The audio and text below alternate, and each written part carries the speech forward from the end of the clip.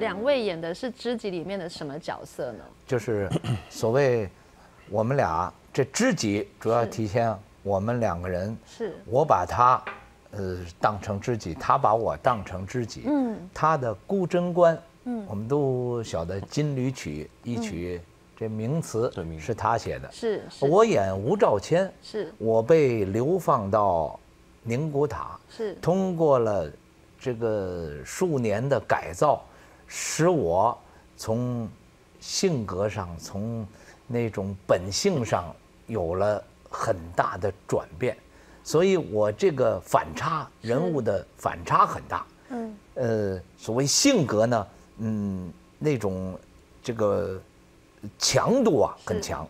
嗯他的这个角色呢，呃，反差不大，他的性格很深沉，嗯。呃，文学的那种感觉修养很深，嗯。所以我们用京昆的一种表现，呃，真的是恰如其分。对，这是一个戏曲的手段。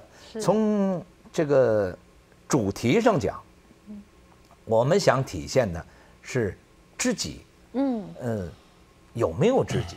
嗯。知己怎么才能够得到知己？嗯。其实知己，我们想表现的就是知己，主要在一个珍惜。啊，珍惜你想象的知己，呃，没有的，你都是想象。嗯嗯嗯嗯你想象，呃，都是我想他能够了解我就是知己，是但是你有没有了解自己？啊，你如果不了解自己，对你光想别人能了解我，咱们就是知己。对这个知己长不了的。其实老师这个改编以后，我觉得一大的心意就是这个，就是顾贞观一直把吴兆谦引为知己，但是嗯二十年以后等来的，就发现已经不是二十年前那个吴兆谦了。啊，他一下子就，其实他二十年就是在为这个目标，我他营救他，我把他知己救回来。但是二十年救回来以后，他发现这个已经不是以前的吴兆谦了，嗯他感觉人生一下子就没有了目标了，对。他失去了他自己一个精神的支柱支撑没有了。对。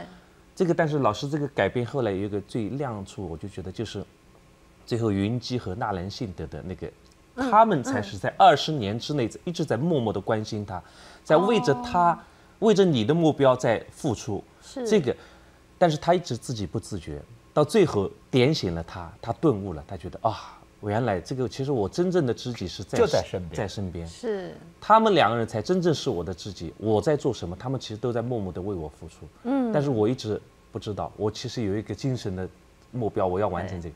但是这个破碎了以后，他发现顿悟了，原来我的知己在身边。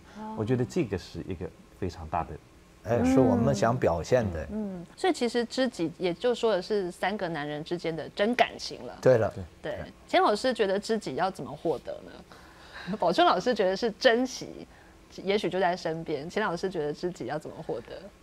我觉得珍惜呢是肯定第一点的，然后但还要有一个，比如说是一个志气的相投，嗯，对，然后呢就是一种精神上的有共鸣，是然后爱好的共同，然后才互相的珍惜，对这样就会成为一个一个知己。嗯其实我觉得这个顾贞观其实就体现了我们，呃，文人的一种精神的典范。嗯他就是为了一种目标，他嗯不断的去追求，然后他始终不放弃。对，其实我觉得宝春老师就是搞的这个戏，它有一个特点，就是很好的把这个两者融合在一起了。就是你一定要保持住你本剧种的精髓的东西。嗯你丢掉了你的精髓，那么你就不是你，你就不是昆曲了，或者你就不是京剧了，那么你就失去了它存在的意义了。